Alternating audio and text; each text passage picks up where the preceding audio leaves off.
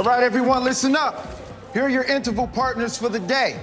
Melanie A and Melanie J, Mikey and Greg, Jazz and Des. Davis.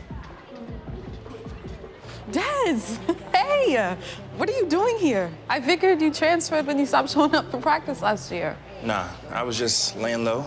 Took a little time off to get some personal things handled.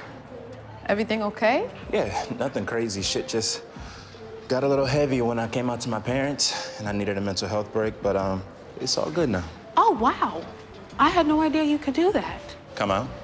No, no, no. No, like, I mean, like, take a break from the team. Oh, yeah. It's covered under a medical red shirt, so I keep my scholarship. I mean, I still had to go to classes and stuff, but at least I didn't have to deal with all the pressures of practice and meets and training. Interesting. Sounds like a good deal to me. But the real question is, did you keep your times? Hmm.